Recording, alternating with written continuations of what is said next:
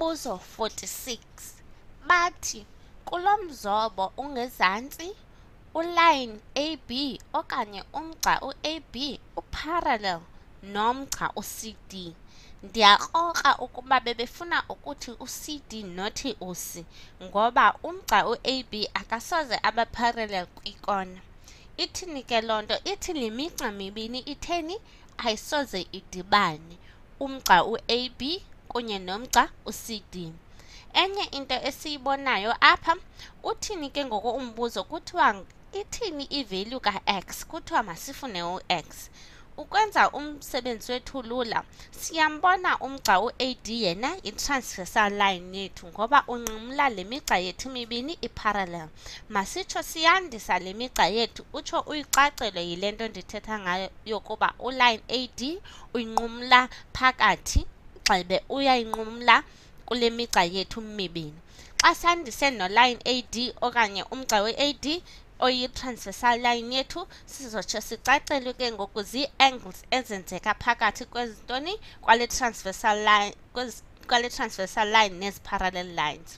Siyabona ke ngoku apha kwiikona zethu into esiyixeleleyo kuthiwa ikona yethu yokuqala u-A ngu-x plus 40 degrees ze yena u-x plus 40 degrees uyambona ukuba yi-corresponding angle yala, yala angle ipha ngaphandle ngoba kaloku ii-lines ezi-parallel zezinqunyelwe yi-transversal line zisinika ii-corresponding angles. Ii-corresponding angles ke siyayazi ukuba zihlala zilingana. Ithi ke loo nto nala kona ikude ngu-x plus 40 degrees u-x plus 40 degrees ke nalo x minus 40 degrees siyababona uba ba-adjacent okanye bamelene. Into ethetha ukuthi bazosinika zii-supplementary angles. Ii-supplementary angles ke zisinika u-180 degrees. Ithi ke loo nto xa sisithi x minus 40 plus x plus 40 is equal to 180 degrees. Siyambona ke uminus 40 no plus 40 bazohlabana. Sitsho sishiyeke no-2x olingana nabani no-180 degrees. Xa sohlulahlula ngo-2 macala sizofumana u-x ongu-90 degrees, impendulo yethu ibe ngu-D, u-90 degrees. Umbuzo 47 yena uthi, iimeasure ze-interior angle angles ze-pentagon. I-pentagon ke yimilo enamacala amangaphi? Amahlanu. Ithi ii-angle zethu ezingaphakathi ngu-2x ngu-6x ngu-4x uthabathe u-6 ngu-2x uthabathe u-16 kunye no-6x plus 2 kuthiwa ke ngokumbuzo what is the measure in degrees of the largest angle? Kufuna ke ngoku ukuba izoba ngakanani eyona angle yethu inkulu kule pentagon. Ukwenza le nto icace ke funeke siyizobe i-pentagon yethu ukwenzele siyazi ukuba zingaphi ii-triangles okanye oonxantathu bethu abangaphakathi kule kule ntoni? Kule pentagon. I-pentagon ke siyayazi uba inamacala amahlanu nanko ke amacala ethu amahlanu siwazobile. Xa sele siyazi ke ngoku loo nto okanye siyizobile i-pentagon yethu funeke sithini? Sizobe ii-triangles ezilapha ngaphakathi kule ntoni? Kule pentagon. Itriangle yethu yokuqala ke sizoyizoba. Isuke kule kona yethu ilapha ngasekhohlo iye kule kona yethu ingasekunene ezantsi. Le nto siyenzela into yokubana ngaba siyazi ukuba zingaphi ii-triangles zethu ezilapha ngaphakathi. Xa siyazi ii-triangles ezingaphakathi sizozazi ke ngoku ii-degrees zantoni? Zee-angles. Siyabona kule pentagon sinentoni? Sinee-triangles ezintathu. Ii-triangles ke siyayazi ukuba i-triangle nganye ii-angles ezingaphakathi kwazo ngu-180 ithi ke loo nto sizaphindaphinda u-180 ngabani? ngo-3 loo nto ke ithetha ukuthini? Ithi loo nto sifuna ukwazi ukuba zingaphi ii-degrees ezingaphakathi kwintoni? Kwi-pentagon. Xa sele siyazi loo nto sizokwazi ke ngoku ukuphendula umbuzo wethu. Sithi ke ngoku u-3a ugxebe u-3 umphindaphinde ngo-180 ufumana bani? U-540 degrees. Siyazibona ii-angles zethu ze-pentagon zingaphi? Zintlanu u-540 degrees sakuba simfumene ke uthi umbuzo wethu funeke zonke ezi angles sizinikiweyo zonke sithi xa sizidibanisa zisinike u-540 degrees. Ithi ke loo nto u-2x xa mdibanisa na-6x uphinde umdibanise nabani no-4x uthabathe u-6 uphinde umdibanise no-2x uthabathe u-16 uphinde umdibanise nabani no-6x wongeze u-2 yonke le zonke ezi angles zethu funeke zisinike bani u-540 degrees. Masitsho ke sizongeza u-minus 6 umdibanise no-minus 16 bakunika bani u-minus 22 u-minus 22 wongeze u-2 bakunika bani u-minus 20 sihambe ke ngoku songeze la macala ano-x.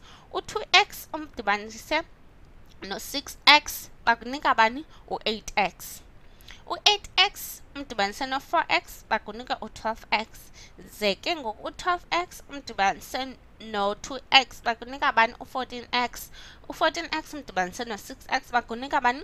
U-20x ithi ke loo nto u-20x uthabathe u-20 yonke loo nto funeke ibe equal to 540 degrees. Masitsho siyibhala kakuhle apha emazantsi 20x uthabatho u-20 20 is equal to 540 degrees. Into esizokuyenza ke apha funeke sohlulahlule omabini amacala ethu ngabanye ngo-20 ithi ke loo nto sawushiyeka no-x minus 1 or equal to u-540 degrees owahlulahlulwe ngo-20 sifumana bani? Sifumana u-27 u-27 ke utsho uwelise la 1 uzotsho ube no-x olingana nabani? O-equal to 28 ngoku ke ngo into ebesiyibuziwe apha bekuthiwe zithini ii-degrees? Bungakanani obukhulu be-angle yethu eyona inkulu. Ngoku siyambona u-6x plus 2 uzoba yeyona angle inkulu. Sizofaka ke u-28 wethu phaa kulaa x. Ithini ke loo nto? U-28 umphindaphinde ngo-6 basinika bani?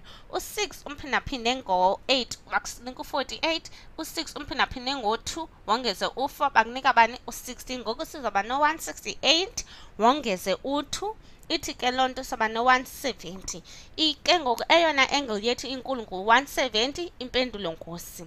Siqhubeke ke siye kumbuzo 48 umbuzo 48 uthini ke? Uthi bungakanani ubukhulu buka-angle 1 siyambona ke u-angle 1 wethu nankuya phaa ezantsi. Into esiyinikiweyo apha sino-36 degrees phaa phezulu. Ze kwathiwa la angle iyonke lena ipha yi-right angle triangle gxebe yi-right angle into ethetha ukuthi ngu-90 degrees. Ngoku into esoyenza sizothabatha ubani? U-36 kula 90 degrees. Xa uthabatha u-36 ku-90 degrees ushiyeka nabani? Ushiyeka no-54 ushiyeka no-54 ithi ke loo nto le angle ilapha kweli cala lingasekhohlo yona ngubani ngu-54 degrees. Sigqithele ke enye into esiyinikiweyo phaa ezantsi kuthiwa la angle ngu-88 degrees. Xana ngaba siyijongile le angle iluhlaza ngapha ngasekhohlo yi-supplementary angle ka-88 degrees. Xa sithe sathabatha u-88 ku-180 degrees sizotsho sifumane bani u-92 oyintoni? Oyile angle yethu ilapha kweli cala ngoba zii-supplementary angles. Xa sele siyazi ke ngoku ii-angles ezimbini kule triangle yethu ino-angle 1 sizotsho sithi u-angle 1 umdibanise no-54 degrees umdibanise no-92 degrees funeke bakunike bani u-180 degrees. Uwelise ke ngoku laa 54 nala 92 u-54 umdibanise nabani no-92 bakunika u-146 ithi ke loo nto uzowalisa la 146 umse kwelaa cala uthabathe 146 macala. Ithi ke loo nto uzotsho ube no-angle 1 olingana nabani? No-180 uthabathe u-146 u-18 uthabathe 146 bakunika abantu u-34 degrees. Impendulo yakho ibe ngo-a sitsho sikhethe u-a ongu-34 degrees. Umbuzo 49 yena uthi bungakanani ubukhulu buka-angle wzx sifuna ubukhulu buka-wzx into esiyinikiweyo ke apha sizophinda sisebenzise ntoni? Ii-angles zethu. Zantoni? Ezi-supplementary angles. Futhi siyambona u-132 simnikiwe. Futhi eli cala lilapha yona i-supplementary angle ka-132 into ethetha ukuthi sizothabatha u-132 ku-180 sisho sifumane ubani? U-48 degrees. Ithi ke loo nto le angle ilapha ngaphakathi yona ngu-48 degrees sakuba siyifumeneke le angle ingaphakathi into sezokuyenza siyayazi ii-angles ze-triangle zonke funeke sithi xa sizidibanisa zisinike bani u-180 degrees sizothabatha ke u-48 no-52 ku-108 u-108 uthabathe u-52 uthabathe u-48 ushiyeka nabani ithi loo nto uzoshiyeka nabani no u-52 umdibanise no-48 bakunika u-100 ithi loo nto uzoshiyeka nabani? no-108 uthabathe u-100 108 uthabathe u-100 ushiyeka nabani? no-80 degrees. Ithi ke le ithi loo nto le angle siyifunayo ngu-80 degrees 80 degrees. Siyabona ke apha le angle besiyibuziwe apha yi-vertical angle okanye yi-opposite angle yalena siyibuziweyo. Ithi ke loo nto nayo izolingana totsana nantoni? Nale opposite angle yethu. Ithi ke loo nto izoba ngu-80 degrees nayo. Simphendule ke umbuzo wethu ithi impendulo ngubani? Ngu-a 80 degrees. Sigqithele kumbuzo 50 uthi umbuzo 50 yena What is the measure of an exterior angle of a regular hexagon? Sibuza ke ngokubana ngaba izawuba ngakanani ubukhulu be-exterior angles okanye ii-angles ezingaphandle kwe-hexagon yethu. I-hexagon ke siyazi ukuba yimilo enamacala ayi-6. Xa kusithiwa irregular kuthetha into yokuba zonke ii-angles zethu ziyalingana totsana yiyo ke le nto kuthiwa yi-regular hexagon. Sizotsho sizobeke i-hexagon yethu sizokwazi ukuba zingaphi ii-triangles esizifumana phi apha kule hexagon masitsho siyizoba ke i-hexagon yethu enamacala angaphi ayi-6 nali icala lethu loqala elesibini elesithathu elesine elesihlanu nelesithandathu ithi ke loo nto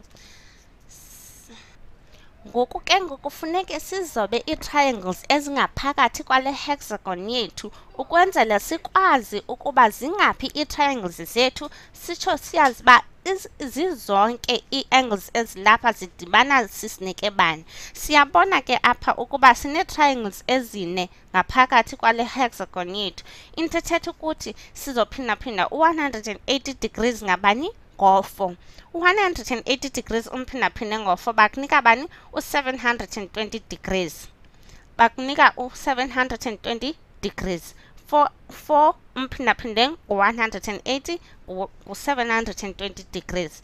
Into ezolandela ke kuba bekuthiwe yi-regular hexagon lena ithi loo nto zonke ii-angles zethu ezingaphakathi zizosinika bani gxebe zizolingana twatsa na ithi loo nto sakohlulahlula lo 720 degrees ngo-6 u-720 degrees umahlule ngo-6 ngubani? U-72 umahlule-hlule ngo-6 ngu-12 ithi loo nto u-720 degrees umahlule-hlule ngo-6 bakunika u-120 degrees. Zonke ke ezi kona zethu zilapha ngaphakathi okanye ezi angles zethu zilapha ngaphakathi ngu-120 degrees. Kodwa ke ebesithi umbuzo wethu what is the measure of i-exterior angle? Ngamanye amagama i-angle engaphandle phi kule hexagon yethu funeke sizobe umgca ke ozoba yintoni? Ozoba si-straight line. Enzele ezi angles zimbini zibe zi-supplementary angles. Ithi loo nto funeke uzuthi xa uzidibanisa zithini zikunike u-180 degrees. Xa sifuna ke ngoku le exterior angle sizothabatha ubani? Lo 120 degrees kubani? Ku-180 degrees sitsho sifumane u-60 degrees. Impendulo yethu yalapha ke itsho ibe ngubani? Ibe ngu-60 siyiphendule ke ngoku yonke imibuzo yethu. Sipheleleli xesha asikwazi ukwenza u-51 enkosi.